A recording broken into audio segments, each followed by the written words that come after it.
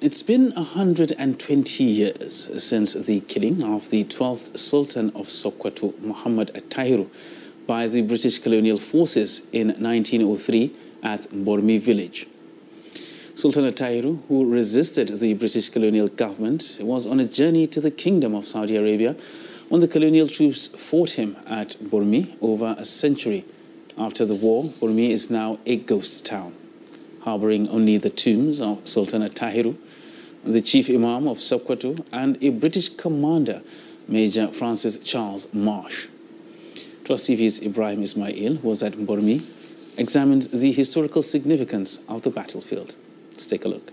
Located in Funakaye local government area of Gombe State, Bormi is over 76 kilometers away from the capital, Gombe.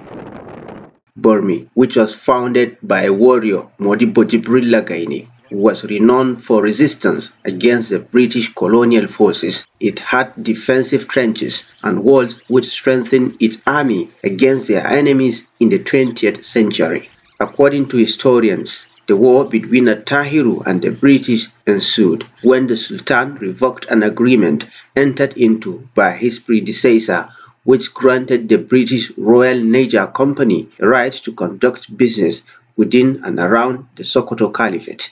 Some said that, okay, uh, the Caliph should stay behind and scum or submit himself to the British forces, while the Caliph on his part decided that uh, he will just embark on Hijrah uh, in tandem with the opinion or the uh, what his uh, grand uh, parents predicted, particularly Usman bin Fodio. So he decided to embark on Hijrah he preferred to embark on hijrah actually than to scum or submit to British forces. So he embarked on this hijrah and he, it took him about a month to even reach Bormi. Sultan Attahiru, the Caliphate chief imam and the British commander, Major Francis Charles Marsh, were buried in the battlefield of Bormi. All your ears could hear here at Bormi is sound of birth. It is here that in 1903, the British fought late Sultan At-Tahiru Muhammad of the Sokoto Caliphate, where he was killed and over 600 of his supporters were also killed during a fight that shows the stance of the Sokoto Caliphate against the British colonial masters. After the war, the British forces banned locals from erecting structures or settlements in Burmi village. It was turned into farmlands for people of neighboring villages like Garin Aba and Bulagaidam. Bulagaidam village is the biggest village, barely a kilometer from Burmi. It was established after the Battle of Attahiru and the British in 1903. Abdullah Ali is 85 years old. He was raised in Bulagaidam and was told the history of Burmi by his ancestors. The British forces warned Gombe Emirates not to allow anyone erect structures in Burmi. They also warned traditional rulers in Ashaka and Bulagaidam to enforce the order because they are closer to the place. They should not allow even Fulani herders to erect temporary huts.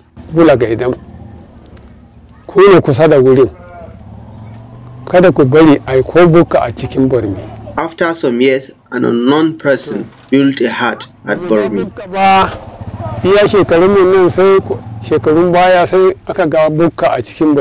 He wrote a letter claiming he is the Mahdi. The letter was handed over to me. I declined to read because of the content. The traditional ruler of Ashaka ordered the village head of Bulagaidam to burn the hut, and he did. Ya a ciki wasiƙa a rubuce a ciki. Sai ɗaukar ya kawo mini a ni ya kawo ma.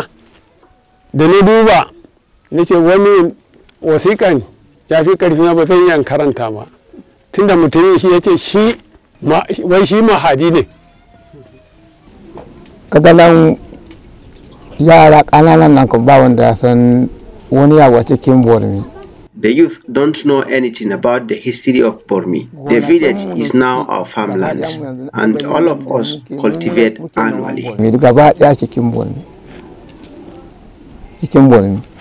The battle that took place at least less than 12 hours, but it led to the demise of about 20,000 people. Uh, so this, uh, the situation, the town is deserted, uh, but you have the tomb maybe neglected somehow because if you look at various explanations or sources or researches carried out uh, on that particular place it shows that even though it has been proposed as one of the world Islamic uh, sites uh, alongside other uh, places in Nigeria uh, nothing tangible is yet to be done. It was gathered that descendants of late Sultan Attahiru and that of British commander Major Francis Charles visited the tombs at the same time decades ago. However, the two brief families did not exchange pleasantries, which was interpreted by scholars to mean that both sides are still at loggerheads over a battle that took place 120 years ago. The traditional institutions that had tremendous powers, absolute powers, have been reduced to mere robustum. And this impact is a recurring